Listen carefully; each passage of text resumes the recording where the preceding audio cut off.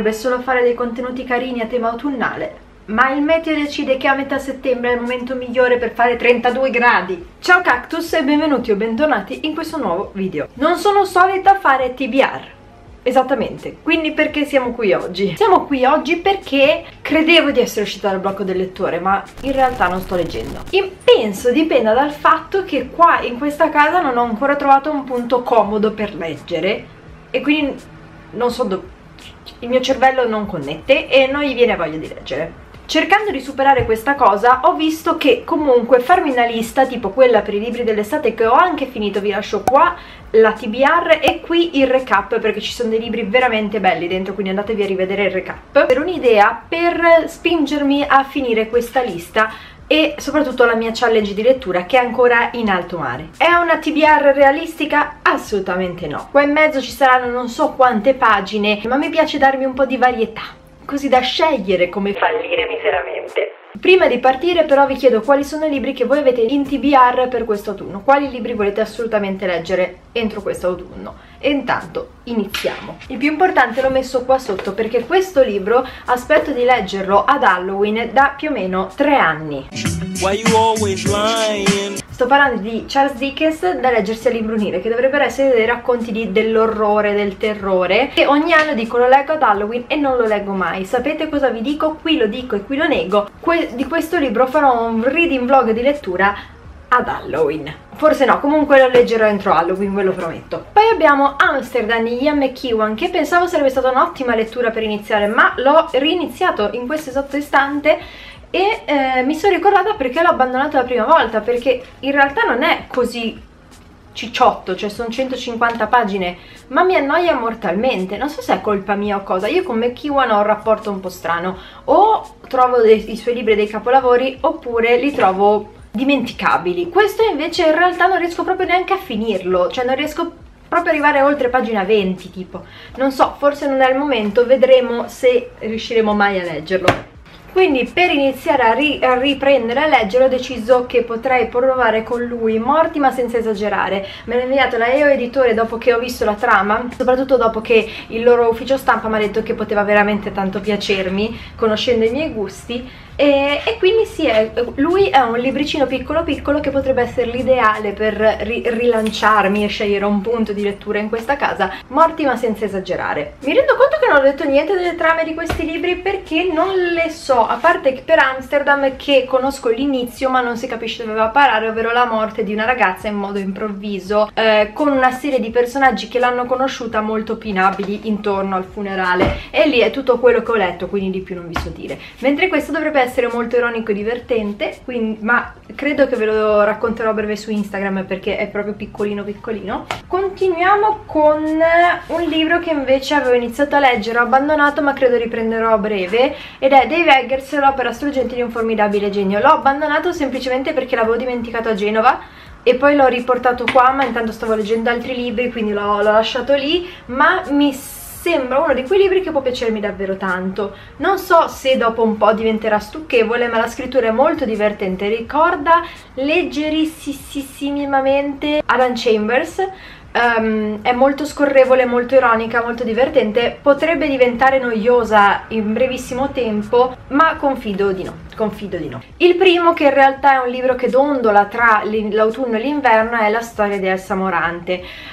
Eh, mi fa il terrore, cioè proprio mi terrorizza, ce l'ho sul Kindle, almeno non mi rendo conto di quanto è grosso questo libro, ma è uno di quei libri che secondo me può sorprendermi, visto che anche il Conte di Montecristo è molto inquietante dalla mole, però in realtà è un libro piacevolissimo che non ti rendi neanche conto di quanto hai letto. Confido che la storia, visto quello che mi avete detto voi cactus più e più volte, sia esattamente così e quindi è solo da trovare il coraggio di iniziare a leggerlo e sono comunque contenta di averlo in digitale piuttosto che in cartaceo perché in cartaceo è gigantesco. E in questo, ho iniziato questo video con una clip che non ho messo che vi rifaccio adesso. Sono tutti libri che avevo già in libreria che ho comprato da breve o meno non importa sono tutti libri che ho già in libreria perché Giulia Giulia quando finisce questa TBR guardami negli occhi qualunque libro tu abbia letto dimmi che non ne hai comprato. Dimmi che non hai comprato nuovi libri per favore. Per favore almeno quelli delle due challenge per favore.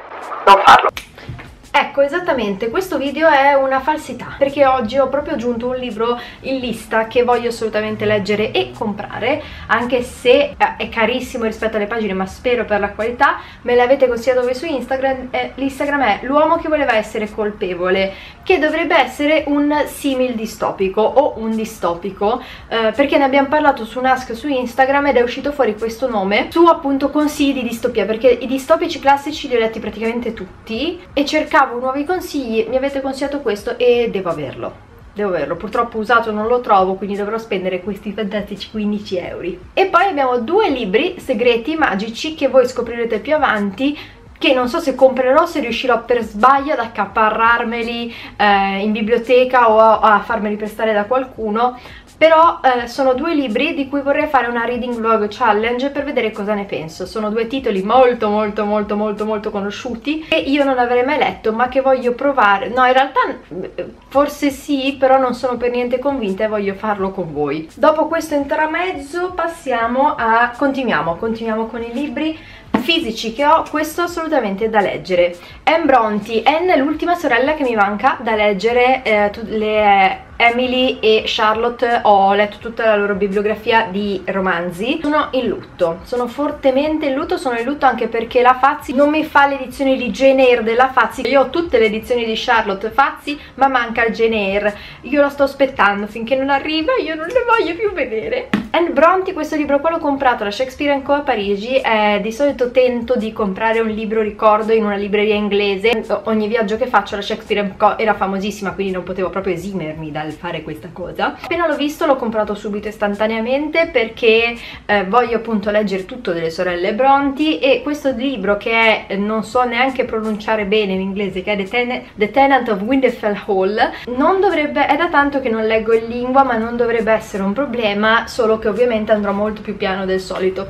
Quindi voglio leggerlo assolutamente. I libri Penguin sono una delle cose più belle che io abbia mai visto ci sono addirittura questo addirittura il segnalibro dentro. Questo è per l'autunno è proprio autunno cioè guardatelo è autunno e poi abbiamo le scommesse tipo questo questo è un libro che ho iniziato a leggere proprio l'autunno scorso, fine estate dell'anno scorso, Cronaca di una morte annunciata di Marquez, io non ho mai letto nulla. Mi ricordo che l'avevo iniziato a leggere anche questo in minuscolo, ma non l'avevo finito. Perché? Perché non mi piaceva probabilmente? Probabile, però magari un anno dopo è arrivato il suo momento. Insomma, essendo libri che sono lì da un po' c'è un motivo perché sono lì da un po', diciamo così. Invece una new entry è stato Philip Roth con Pastorale Americana. Signori miei, io ho sbagliato, ho sbagliato perché dovevo prendere il lamento di Portnoy non pastorale americana. Ho trovato il lamento di porno usato? Assolutamente no e quindi a questo punto ci leggiamo pastorale americana tutti insieme sperando che mi piaccia. Avevo letto La macchia umana e non l'avevo mai finito perché proprio non mi era piaciuto. Probabilmente io e Roth non siamo fatti per stare insieme purtroppo ma entro questo, in questo romanzo a mente libera, non mi ricordo neanche più La macchia umana di cosa parlasse, questa è una delle sue opere più famose